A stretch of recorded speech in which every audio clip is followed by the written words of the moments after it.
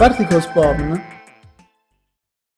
consente di gestire in maniera più approfondita le particles al momento della loro morte o al momento della loro collisione con altri elementi. Volendo è possibile generare altre particelle aggiuntive assegnando un secondo comportamento.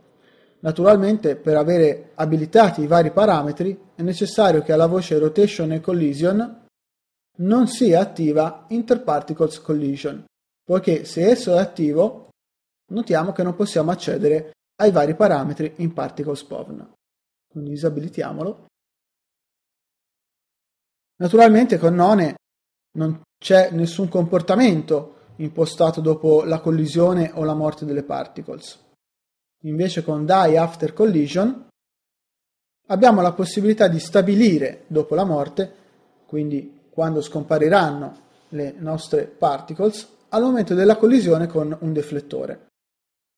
Persist regola la vita dopo la collisione. Di default spariscono subito poiché il valore 0 significa che esse non, avranno, eh, non saranno generate dopo la collisione.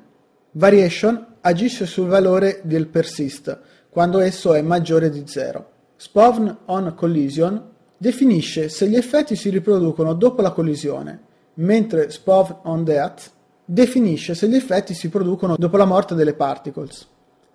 Spawn trails, con questo gruppo di parametri possiamo definire quante particelle saranno generate in più dopo la collisione o la morte delle stesse, in base a come abbiamo abilitato e selezionato prima. Spov Trails invece va a generare una sorta di, di scia dopo la collisione.